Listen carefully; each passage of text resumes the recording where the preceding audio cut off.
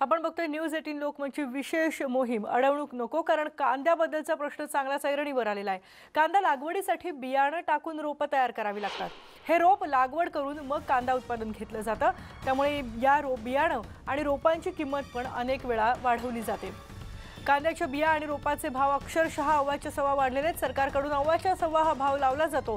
पण शेतकरी मात्र कधी सरकारची अडवणूक करत नाही. कांद्याची खतं आणि फवारणीचे भाव सुद्धा वाढलेले आहेत. एकतर बदलतं हवामान आणि त्यामुळेच नगदी पीक असलं तरी कांदा शेती महागडी होते. आपल्यासोबत आहेत आमचे प्रतिनिधी संदीप भुजबळ. संदीप महाराष्ट्रात सगळ्यात जास्त उत्पादन होतं कांद्याचं मध्य प्रदेशाबरोबर आणि आता जर आपण बघितलं नगदी पीक म्हणून खरं तर जास्तीत जास्त शेतकरी कांद्याला पसंती देतात. पण हे सगळं चक्र बघितल्यावर खरोखरच कितपत परवडणारं हे पीक आहे असा प्रश्न उपस्थित होतो. या चक्रव्यूहातून बाहेर कसं पडायचं?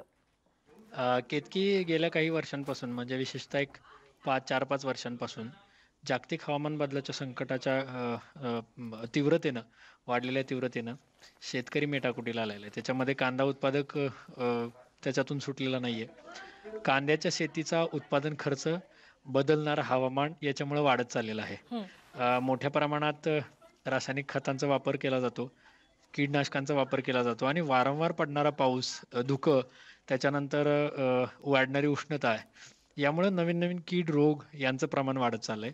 त्याचबरोबर हे जे तापमान वाढीमुळं पडणारा जो पाऊस आहे त्याच्यामुळं अनेकदा कांद्याच्या पिकात पाणी साचून राहणं त्याच्यानंतर त्या पिकामध्ये वाढणारा तण आणि त्याचा भांगलणीचा खर्च असेल आणि त्या व्यवस्थापन करण्याचा जो खर्च आहे तो दिवसेंदिवस वाढत चाललाय.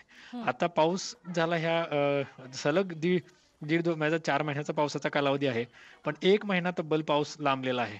याच्यामुळं काय झालं?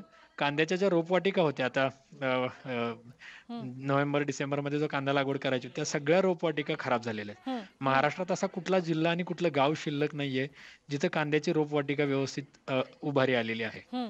मोठ्या प्रमाणात कांद्याच्या बियाण्याचं रोपांचे तुतवडा आहे. कांद्याचं बियाणं जवळपास दोन हजार रुपये किलो होतं. ते आज पाच हजार रुपये किलोच्या आसपास गेलेलं आहे.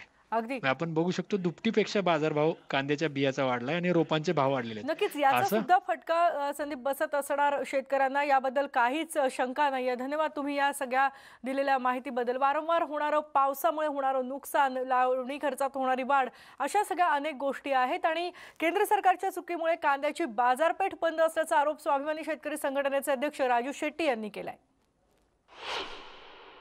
केंद्र सरकार वारंवार जे काही कांद्याच्या बाबतीत पोरखेळ करतंय. वारंवार अशा प्रकार केंद्र सरकार वारंवार जे काही कांद्याच्या बाबतीत पोरखेळ करतंय. वारंवार अशा प्रकारे कांद्याच्या व्यापारामध्ये खरेदी विक्रीमध्ये सरकार निर्बंध का लावतंय? नाव शेतकऱ्याचं सांगायचं आणि फायदा दलालांचा होईल अशा प्रकारचे धोरणं राबवायचे.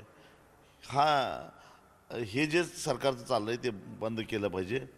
आणि शेतकऱ्यांनी ज्यावेळी कांदा पन्नास पैशाला आणि एक रुपयाला विकला त्यावेळी ही तत्परता सरकार का दाखवत नाही? आत्ताच का? कशासाठी? म्हणजे शेतकऱ्याला जगून द्यायचं नाही असं सरकारनं ठरवलंय काय? आणि मनमाड बाजार समितीचं संचालक मंडळ व्यापारी आणि तिथले शेतकरी यांचं नेमकं काय म्हणणं ते जाणून घेतले आमचे प्रतिनिधी बब्बू शेख यांनी. केंद्र शासनाचं हे जे धोरण आहे काय वाटतं तुम्हाला? केंद्र शासनाने जे काही धोरण घेतलेलं आहे निश्चित त्यामध्ये शेतकऱ्याची कुटुंबना होत आहे.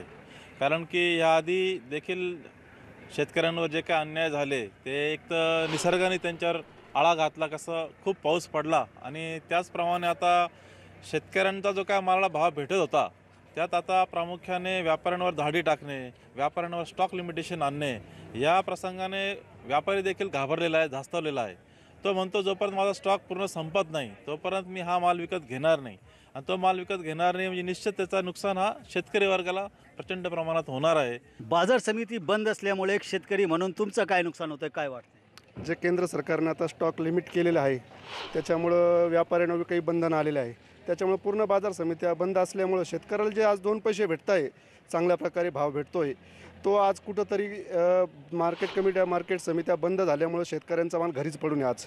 आता पुढून मार्केट स समित्या म्हणजे मार्केट ब ब- सुरू झाल्यानंतर शेतकऱ्यांना काय भाव भेटेल आणि काय नाही याचं काही क- खरं सांगता येत नाही. व्यापाऱ्यांची आडमुठे धोरण आहे? नाही आडमुठे धोरण म्हणता येणार नाही आपल्याला. कारण त्यांच्यावर जर स्टॉक लिमिट असेल तर त्यावेळेस त्यांच्याकडे जो स्टॉक आहे तो संपपर्यंत त्यांनाही घेता येणार नाही. कारण त्यांना ज्याकडे स्टॉक आहे तर त्यांच्यावर कारवाई होईल. त्यामुळे ते माल खरेदी करू शकत नाही आणि शेतकऱ्यांनाही कुठे माल विकता येणार नाही. आज जे माल थोडे थोडे सरकार म्हणते की आम्ही कुठेही विका. अहो बाजार समिती जवळ असते. आज समजा माझ्याकडे दहा क्विंटल माल आहे मी कुठं नेऊन विकणार तो माल?